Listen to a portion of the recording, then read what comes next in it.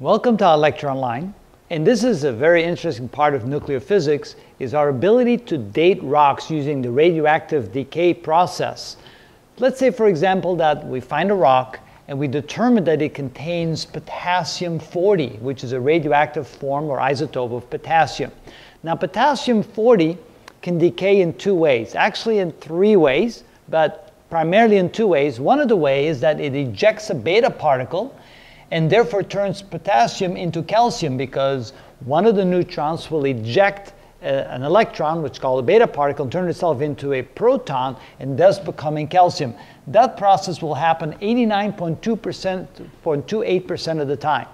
Sometimes, however, a potassium will capture an electron and turn a proton into a neutron. So instead of having 19 protons, it now only has 18 protons, so therefore turning it into argon, which is of course a noble gas. That happens 10.72% of the time. Since we understand that, and knowing that the half-life of potassium-40 is 1.28 times 10 to the 9 years, which is 1.28 billion years, a billion and 280 million years, then if we find a rock and we can chemically analyze to see how much of the argon is in the rock and how much potassium 40 is in the rock, we can therefore determine how much of the potassium already has decayed. And the way that works is when the rock is first formed from a molten state, the uh, argon gas cannot have been present because it's a gas and it will gas out during the uh, process of it being molten. And so then when the rock hardens, it is then assumed not to have any argon in it. So whatever argon we'll find in the rock now was purely formed after the rock has solidified.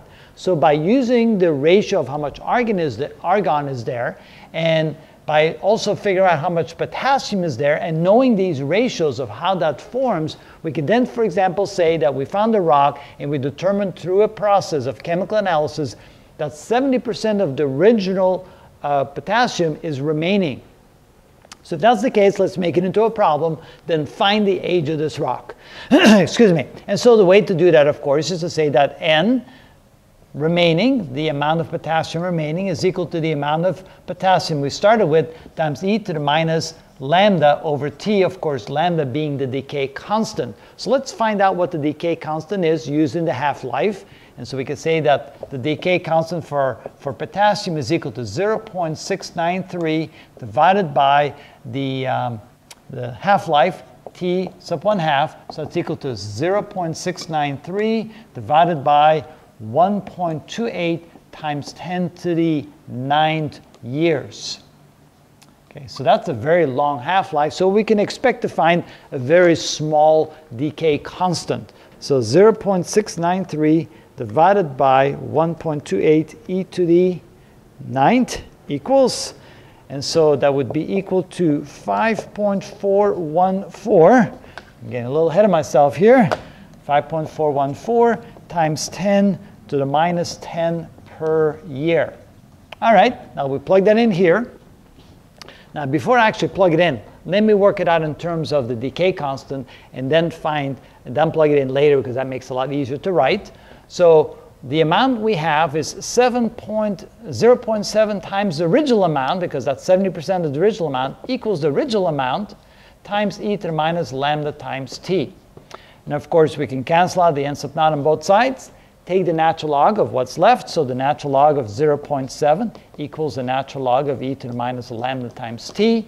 Of course, we have the natural log of 0.7 equals, this negates the e, and we get minus lambda times t. And then solving that for t, we get t is equal to the natural log of 0.7 divided by minus lambda. And now we'll go ahead and plug in the lambda. So let me write it over here. So we have the time is equal to the natural log of 0.7 divided by minus the decay constant, so minus 5.414 times 10 to the minus 10 per year, and that'll give us t in years.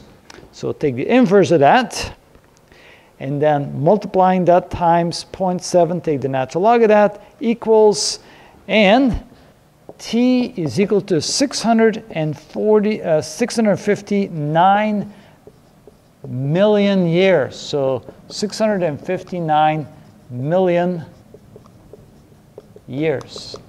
And that's how we find the age of rocks that contain the radioactive element uh, potassium, potassium 40. So pretty interesting. So that, that's why, since carbon-14 only can date fossils out to maybe 40, 50,000 years max, and let's say we find a fossil of something that's hundreds of millions years old, if we can find it embedded in a layer that contains um, rocks that contain potassium-40 and also contain the um, the noble gas argon and we can chemically determine the ratios, we might be able to find the age of the rock and therefore surmise the age of the fossils that we found within the layer that contains that rock. So pretty interesting stuff and this is how you do that.